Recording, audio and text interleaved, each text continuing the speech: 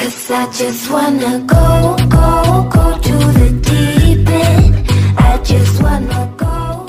अगर फ्रेंड्स आपके पास पोको का F5 है और आपको इस फ़ोन में ऐप लॉक सेट करना है तो इस वीडियो के अंदर मैं आज आपको बताने वाला हूँ कैसे इस फ़ोन में ऐप लॉक को लगा सकते हैं। इस फ़ोन में ऐप लॉक को सेट करने के लिए सबसे पहले फ़ोन की सेटिंग में जाइए यहाँ आपको कुछ इस तरह से इंटरफेस देखने को मिल जाएगा। यहाँ से आपको स्क्रॉल डाउन करके नीचे की साइड आना होगा।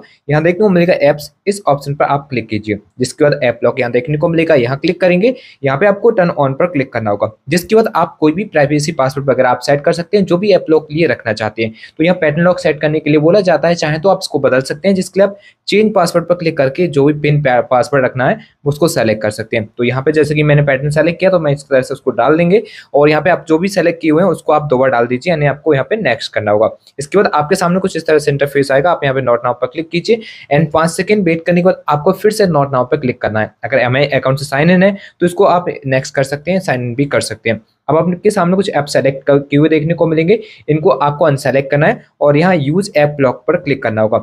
जिसके बाद यहाँ पूछा गया आपसे कि आप इसको फिंगरप्रिंट की मदद से अनलॉक करना चाहते हैं तो यस पर क्लिक कीजिए, नहीं तो आप यहाँ पर कैंसिल पर क्लिक कर सकते हैं।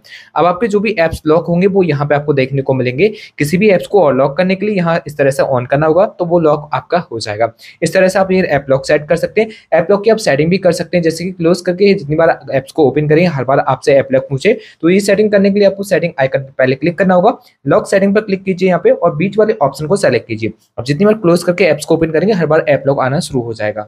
जो भी लॉक किए हैं आपने एप्स उनको किस किस से एक्सेस करना चाहते हैं, जैसे कि फेस से या फिंगरप्रिंट से तो वो ऑप्शन मिलेंगे आपको। इनमें से अपने हिसाब से रख सकते हैं। फेस से भी अनलॉक करना चाहते हैं तो इस ऑप्शन को ऑन कीजिए। अगर फिंगरप्रिंट से अनलॉक करना चाहते हैं तो इस ऑप्शन को ऑन कीजिए। तो इस तरह से फ्रेंड्स इस फ़ोन में आप ऐप लॉक को सेट कर सकते हैं। आई होप आपको वीडियो काफ़ी अच्छी लगी होगी। वीडियो अच्छा लगा तो वीडियो को लाइक शेयर और चैनल को सब्सक्राइब करके बेल प्रेस करना ना भूलें। तो चलिए फ्रेंड्स मिलते हैं एक और नई वीडियो के साथ। तब तक के लिए good bye and take care